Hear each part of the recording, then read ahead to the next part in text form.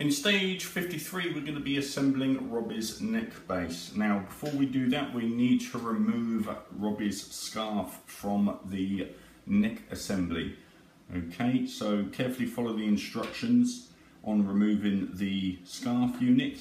Okay, and then once you've done that take the neck base and noticing the position okay so that you've got the two slots bottom there and they face down and then place that down into the top of Robi's scarf. Then taking one of the washers you'll notice that there's three little marks, little holes on there, they are called